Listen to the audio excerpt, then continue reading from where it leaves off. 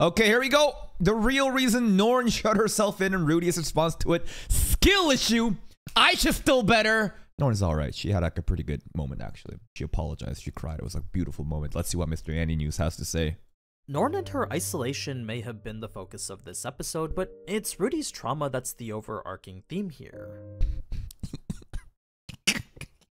even in Mr. AniNews' video, Norn can't even be the highlight. Norn is not even the most important thing. It's Rudy's trauma that overrides whatever the bullshit Norn is going through. Just like how it was with Nanahoshi's breakdown, Norn shutting herself in forced Rudy to face his inner demons and the traumatic Rudy's gotta be the biggest fucking narcissist, man. Nobody. No, you think you're suffering? No, I'm suffering more. Your bullshit suffering, it only exists. Nanahoshi can have a mind break. No one can shut herself in. None of that shit matters because at the end of the day, it's to re- it remind the audience that Rudy too has gone through these issues. He'll, you know, connect the dots and look to his past, and then he'll be able to handle it better. No one in the in in like the trauma Olympics, the suffering Olympics, Rudy's like, nah, it's me first. response it caused allowed him to finally overcome them.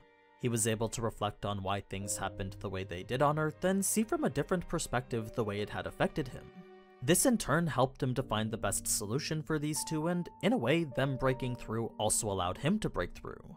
Whatever lingering regrets and remorse Rudy had from his shut in days were now gone as indicated in the final lines of the episode. This was the recurring theme for the majority of Season 2, and now that his character is less hindered by his past, it serves as the perfect moment to transition into a turning point. Three TP3. It's gonna be tonight. Yeah, it's gonna be tonight. We'll be watching that tonight. It'll be up later though. Before we can get to that though, there was quite a bit more to Norn's story that we need to examine first. The true extent to her emotional buildup and why it is she became the a shut-in herself. So, as we look at that and Rudy's self-reflection through her, we'll get to see everything we missed from what I found was the best episode of Season 2 so far. Best episode of season two. Last episode. Hmm.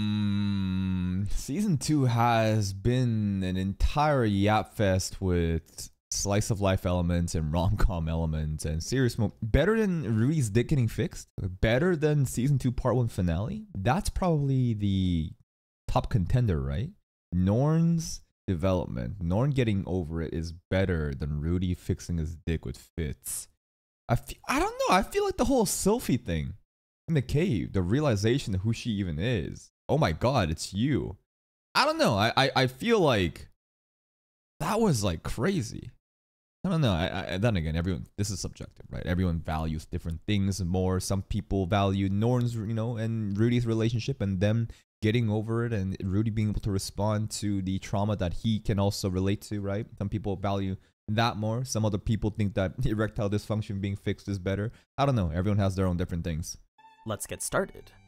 But Oh, first, very quickly before that though, if you've watched this you fucking cheeky motherfucker. He got another different ad read. Before it was, but first, before we start, this one was, oh, but. of Season 2 so this far, one was, oh, let's get started. Oh, very quickly before that though, oh, very quick. He's getting creative with these. Uh, figurine ads. Anyways, go back to main content. To Rudy, Norn's abrupt decision was quite the serious one because the day he decided to isolate himself in his past life had resulted in him becoming a shut in for the rest of his life. The reason he never left his room after that was because he truly thought that everyone was out to get him. To him, the world was a dangerous place in which bullying was the only thing that awaited him. So, with bullying being the very thing that started all this, to Rudy he felt it was easiest to just avoid that misery altogether. And that wasn't the worldview that Rudy wanted Norn to be stuck with. In fact, when Rudy first heard that Norn had shut herself into her room, it had actually triggered a trauma response which took Rudy back to the very mistake that had created this worldview for him. That one instance where he stood up for himself in the cafeteria was the sole moment that to him changed his life forever. Not gonna lie, this is season one shit that I didn't even watch comprehensively. Like before we started the reactions, I just watched the anime, not really giving a fuck. So like, this is stuff that I'm not really familiar with. So, if there was even a possibility that Norn was going through the same thing now, Rudy was determined to punish those responsible. He looked even more mad in the manga. I think this is the manga, right? Not the light novel art. Rudy looked pissed off in the anime, but this is like, goddamn. He would seek justice until Norn felt that she was safe again. It didn't matter who he hurt in the process, since if they were terrorizing Norn, then Rudy was sure to make them regret it. These Of poor course, first year Rudy's kids. interrogation revealed the cause was him all along, and it brings up this underlying issue that Norn has constantly had to deal with. You see, even before she'd enrolled into the university here, she always felt compared to Aisha. This wasn't just at school either, since at home her grandmother made sure to make those differences clear too. That grandma's a fucking bitch. Zenith aside. So obviously she she she basically shit on both granddaughters, huh? Aisha for basically being better, therefore you're the daughter of a concubine, even though Lilith is she's she's like a second wife, right? I don't know. Anyway, just kind of telling her that you're not really you're not really uh, real. And then Norton is like skill issue. You have our main bloodline, yet why you're not better than this fucking bastard child? Not a bastard child, but you know what I mean. She made sure to let Norn know exactly how inferior she was. Damn. So, before Norn could even kind of wanted to see those grandma scenes. It would have been fucking hilarious. Now what she's doing is terrible, but something about child abuse in anime is hilarious to me. settle down and start experiencing this new chapter of her life, not one full day went by before she was being compared all over again. She was experiencing the exact same treatment she received back in Millis. The only thing that changed was the person she was being compared to. That being the case, to Norn it must have seemed that no matter where she went, she would always be forced to hear about just how unspectacular she was. Her interactions were a constant reminder that she was the least talented member of her family. Combine this with the fact that Rudy's behavior was perceptibly short of exemplary, and to be inferior to someone This like that, degenerate piece well, of I'm shit. sure it only made the comparisons feel ten times worse. Rudy wasn't I didn't really think about that. Not just being compared in, in terms of like objective feats, the different things that Rudy has done, but also on top of that, he's a degenerate freak. So it's like my degenerate prodigy brother. That's who I'm being compared to. Huh. Never really thought about it like that. I'm gonna let that stop him from trying to help though, because he knew from experience the longer she stayed in there, the worse it'd get for her. He knew even just a month could have serious consequences. She likely wouldn't start to regret it until at least a year or two later, but at that point the damage would be done already. Whatever feelings of remorse she'd have about wanting to do things differently wouldn't change the fact that the past however many years were wasted. Norn may not be able to realize it now, but it was only a matter of time before she did. And it was Rudy's job to help her realize that sooner than later.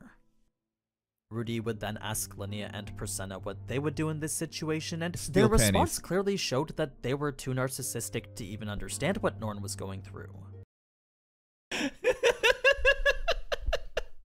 I'm not stupid, so I would have known yet. So that's a little bit of a cap, but these girls would never have to. Well, these girls are pretty phenomenal, phenomenal, right? Like compared to their tribe, they're like the main like princess daughter, right? I don't think they're really good characters to you know ask for how Norn be feeling. They did, however, know someone who was like Norn, and you'd be surprised to hear that it was actually their Aunt Ghislaine. Ghislaine? What? She was not remarkable back in the past. You see, she used to go around starting fights all the time, then one day she ended up training and became a Sword King. Okay. Ghislaine's case was a little bit different though, since while there was definitely a chance Norn had some latent, unexplored talent, it didn't have to be sword player magic. Norn, I don't see her really being a fighter at all. If anything, she's probably gonna be diplomacy, kind of like Princess Ariel, right? There were plenty of interests Norn could explore that neither him nor Aisha had even considered.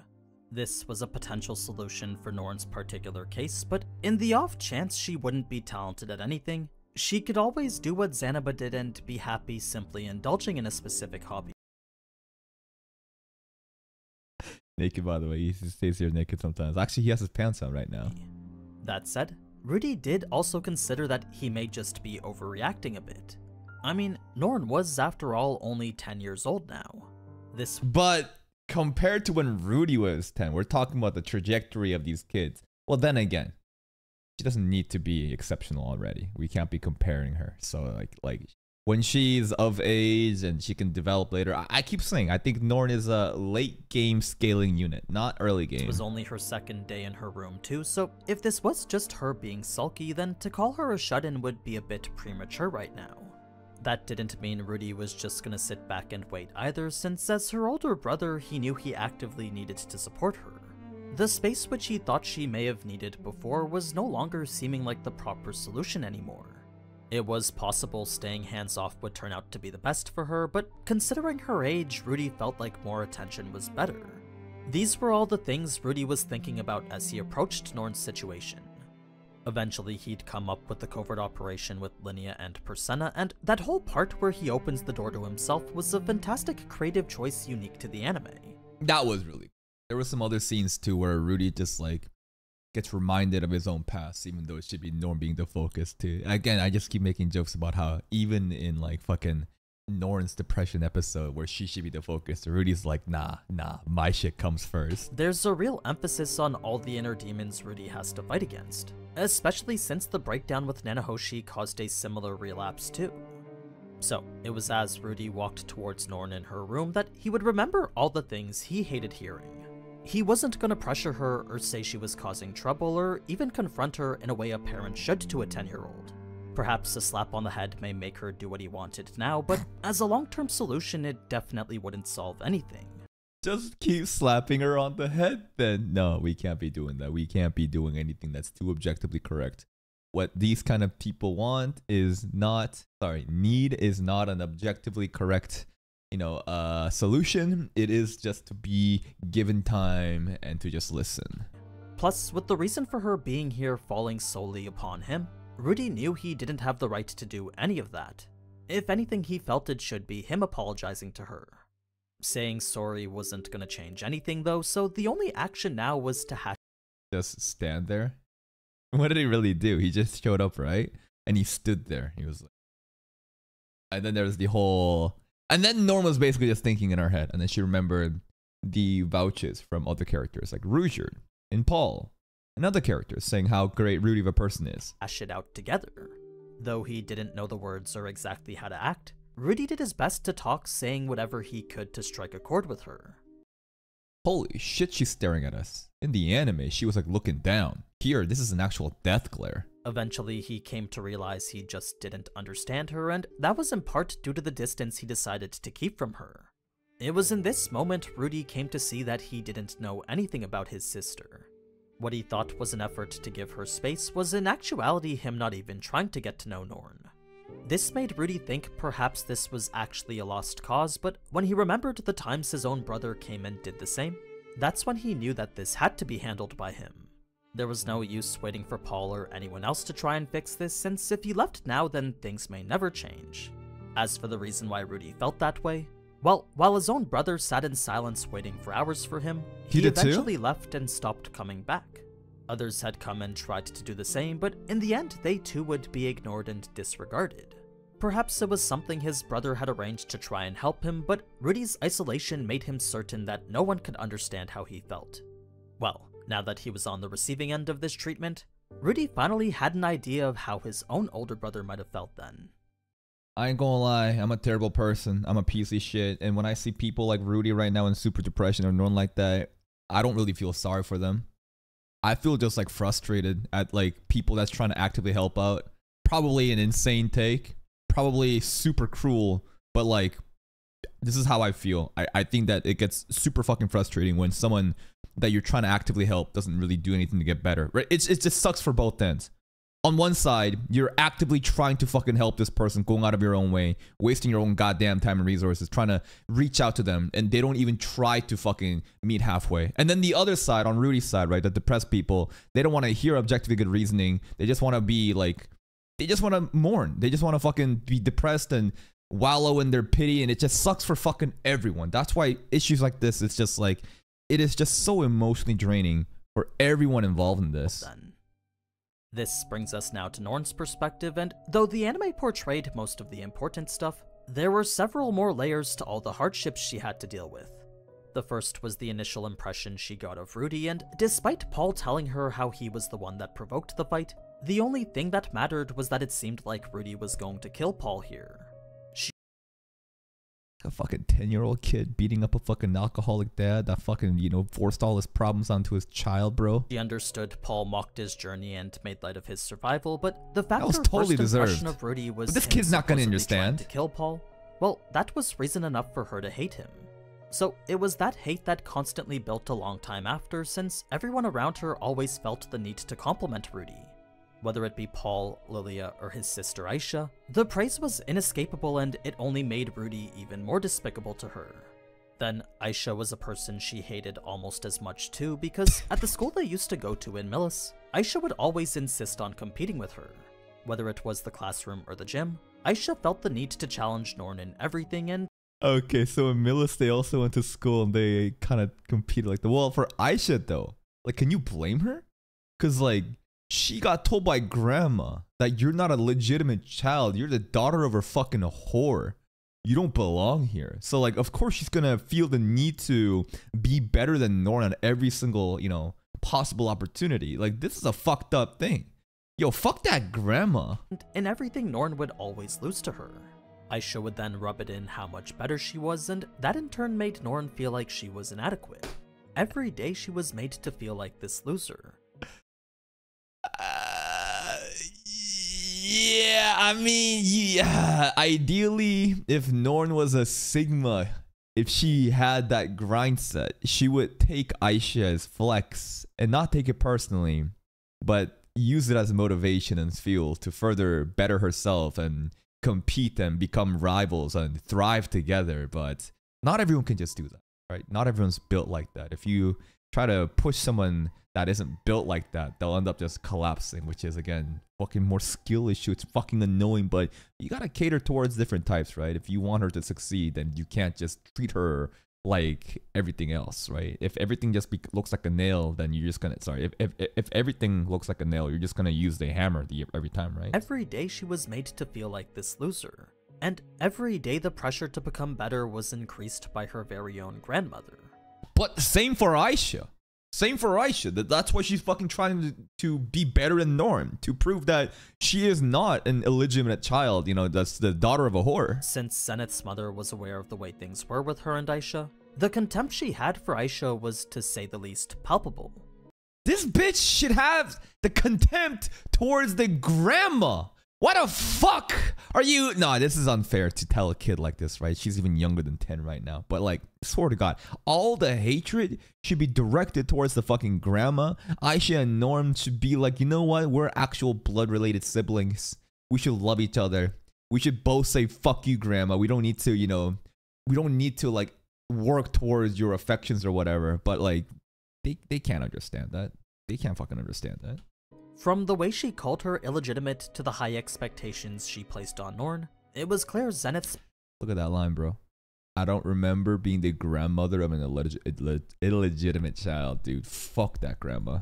she placed on Norn, it was clear Zenith's mother wasn't the very best grandparent. She's terrible. That being the case, there were certain bars that needed to be met for the lady of the Latria family, and to Norn that meant she needed to be competent. That's pretty difficult when the person you're competing against is Aisha, though, since for Aisha, the way she dealt with her problems was by being better than Norn. You see, the reason she felt the need to always challenge her was because that was the only way she could fight back against the people who denied her what she saw as her rightful place in the world. She wanted to see how far her potential could take her, but Lilia and Zenith's mother refused to acknowledge that. So the only thing she could do then was take it all out on Norn.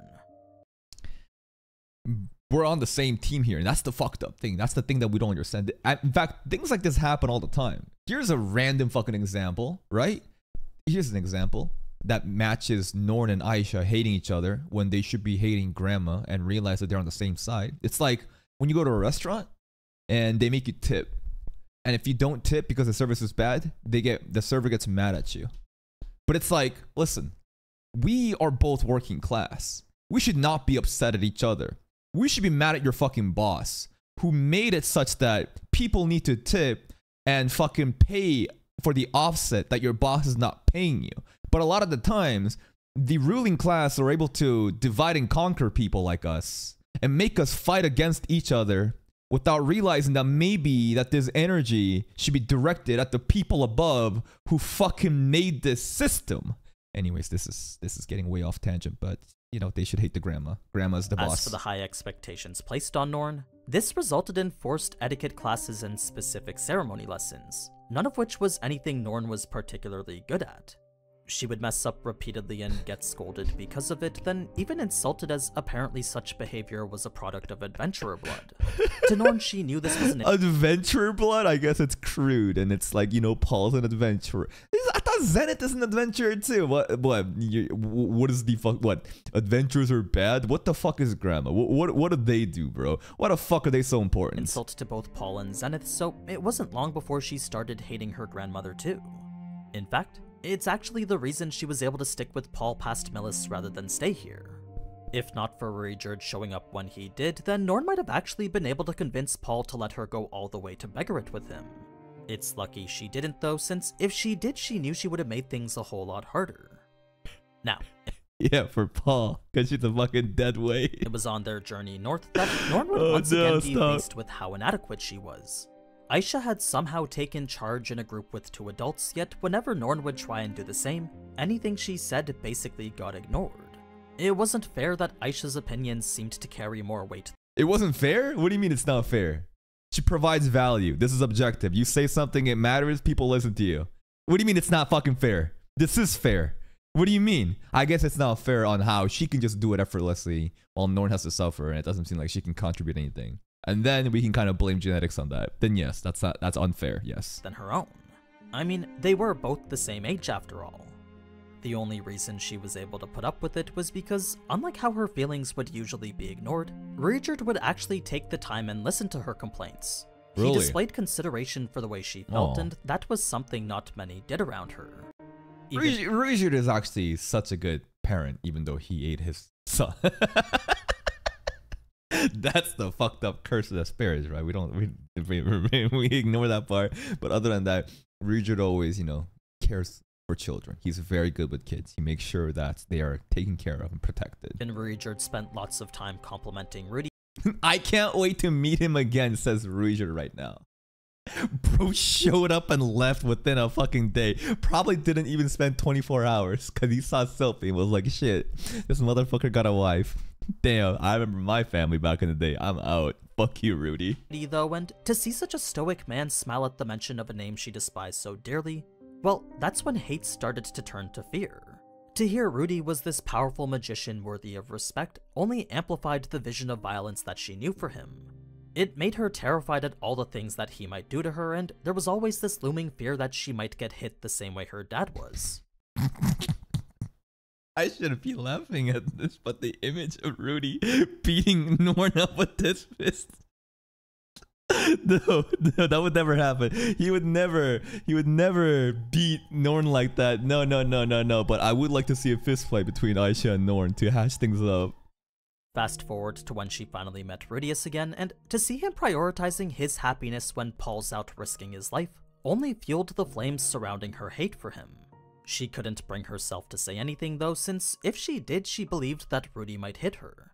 She wasn't even sure Ruijerd would step in if he did, and it was that feeling that no one would protect her that Nah, join in on the beating. Fucking 2v1 Ruijerd and Rudy versus Norn. began the cycle of loneliness which would consume her.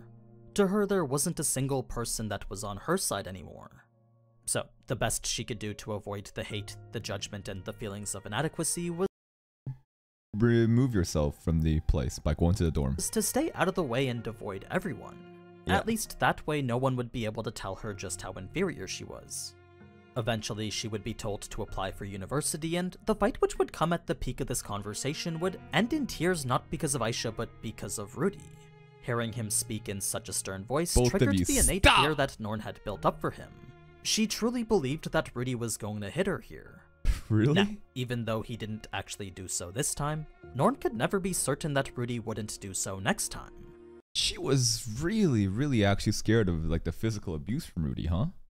That just goes to show how significant that first time encounter was with Rudy fucking up Paul in season one. She wondered if this was the fear that she would constantly have to live with now. That's when the topic of dorms came up, and just like that, a solution to everything had appeared.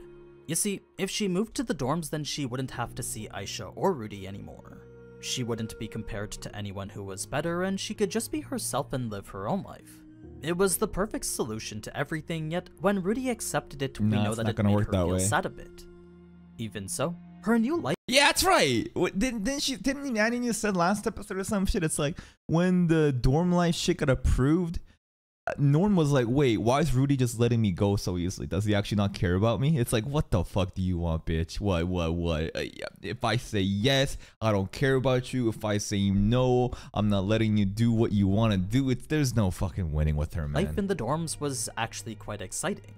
She gained a new roommate who was Oh? genuinely kind to her, All right, we saw kind of this bird girl, but uh, we didn't really get to see much of her. She was in the episode though. and though her and the other beast folk were what her grandma would describe as demons, Ruijerd had been able to teach Norn otherwise.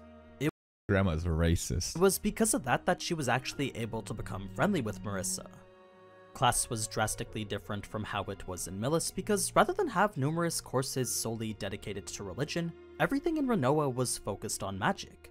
Coming in halfway made picking things up rather difficult too, so it was only natural that Norn would struggle a bit. In fact, Marissa had actually had to step in and tutor her for a while.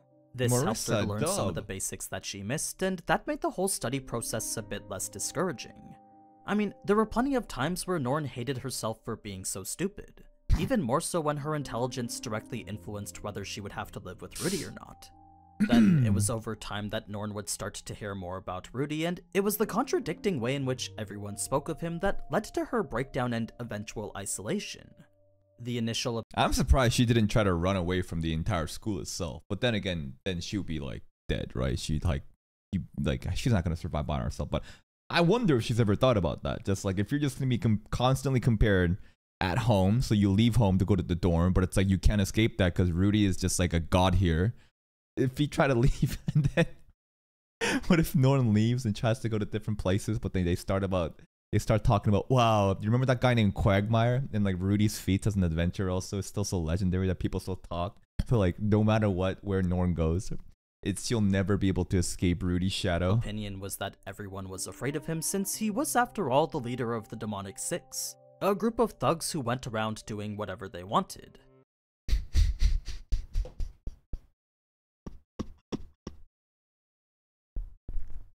the demonic six something they skipped in the anime but this is like a very shonen-esque group linea Pursena Zanoba looking real fucking cool here. Why does Zanoba look so cool? We even have Demon King Badigadi in our Elite Six. whatever they wanted. Rumor had it that two of them were collecting panties on his direct orders, so Yep. to hear Rudy was doing Not that direct while orders. Paul was risking his life once again led Norn's opinion of him to sink even lower. How do you how This is ridiculous. I guess her assumption was Linny and Pursena. Uh, It's her imagination going crazy, right? Because like Linny and Pursena, if they're part of the Immortal Six, then it did that sorry, the demonic six, then it's like, oh, these girls are doing such despicable things. Who's their boss? Rudy, therefore Rudy bad. Linian person that was doing this to try to please boss man. Trying to get like the new crops panties.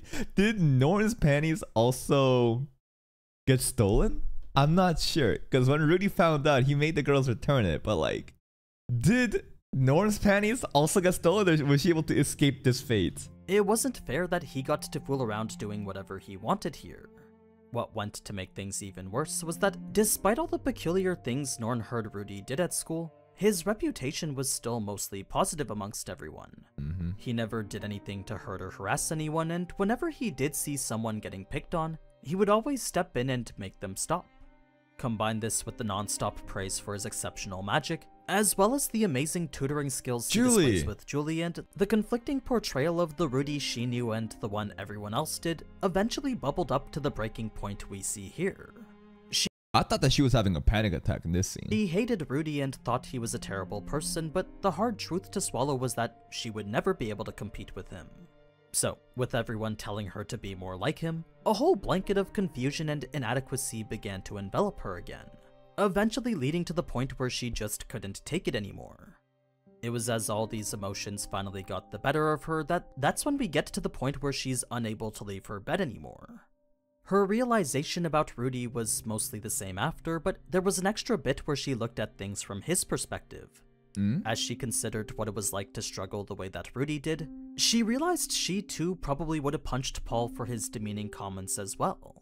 So it was as she slowly came to see her and Rudy weren't so different that she also came to understand she should try to make amends with him. Which is more than I can expect from a 10 year old kid like her. Honestly, everything just stems from the fact that she's a dumb 10 year old kid. And that's perfectly fine. She's a perfect depiction of what a realistic 10 year old girl in a fantasy setting would be like, living under the shadows of everyone. I get it. I get it. It's just, I'm just too used to having ex- exceptional characters. And a, and a part of me is just so impatient and um, sociopathic to the point that I can't.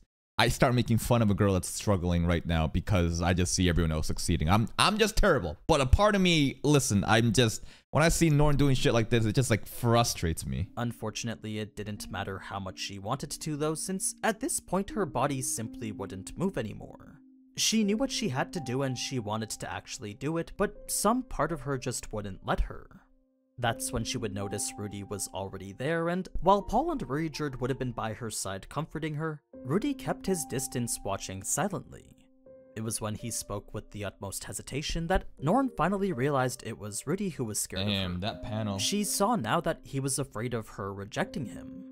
The instant she understood that this was what Rudy was feeling was the same instant all her negative emotions dissipated. She no longer hated him or found him scary because what she saw in Rudy was the exact same thing she saw in Paul. It was a compassionate anxiety that was all too similar. This was only possible due to Norn's extreme sensitivity and empathy, which in turn makes her very in touch with her own emotions. I love the light novel art of the crying scene more than the anime because the anime scene it was just so dark and blue and I couldn't see shit. But this is like very vibrant. It's the reason she's able to understand so quickly how Rudy is feeling and in turn sort through her own emotions herself. That would be it for Norn's side of things, which brings us now to how Rudy perceived it all. To him, what Norn did was a truly impressive accomplishment. She processed her emotions all by herself. Honestly, yeah, it is. I think it is impressive because Rudy wasn't able to do it, right? Rudy wasn't able to do it back on Earth. I make the same, but like, it's a bit, I don't know. Some people are saying like, what I said about how Rudy not having the infrastructure to succeed compared to Norn was wrong, apparently. Apparently, their family went leagues and above and beyond in Call of Duty, and actually, she had just all the same opportunities too. The brother actually wasn't just like a a, forehead answer where it's just like, come on, get good. Nah, you'll be better. Like, come on, other people are suffering. Apparently, it wasn't like that. I don't know. I can't fucking trust YouTube comments. People, monkeys will say whatever the fuck they want. But my interpretation was Rudy didn't really have the things to succeed. Norn did. However, Norn was able to overcome the problems and basically uh take her out of the situation, lift herself up, where Rudy kind of just died in front of a gas station. Then overcame whatever obstacles that were blocking her. To Paul and Aisha, she may just be this average kid, but to Rudy, his opinion of her was vastly different now. What? She'd displayed a feat of strength that Rudy's past self could never accomplish. This is objectively true. She did do that. And to be on the other end of it allowed him to understand his own problems from a different perspective. So, with this and Nanahoshi's breakdown allowing him to confront his own inner demons, you could say that there's two less weights holding Rudy down now. But Okay. yeah, that's pretty And that means that everything has been handled. Everything is happy as it ever can be, and all the problems are gone. And now, when our house of cards of night things and Rudy just experiencing happiness is formed, we should be getting turning point three. Guys, y'all know what to do. Go to Mr. Annie YouTube channel.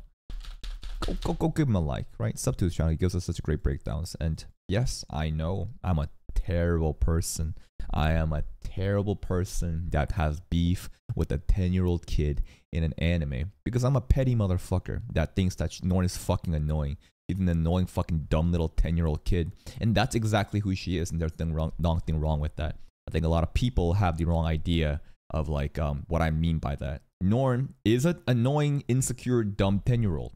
And most 10 year olds are just like that. There's nothing wrong with being that. It's just the fact that I see other characters like Aisha and other exceptional people like Rudy at her age, you know, doing that shit. Rudy, it's not really a fair comparison because it's a reincarnation, but you know what I mean, right? It's really unfair for me to be able to, you know, compare someone average like Norn to everyone else, but I'm just impatient. I'm just a petty motherfucker. That's it. You can expect Turning Point 3 uh probably sometime later. I'm going to put out Demon Slayer out first tonight.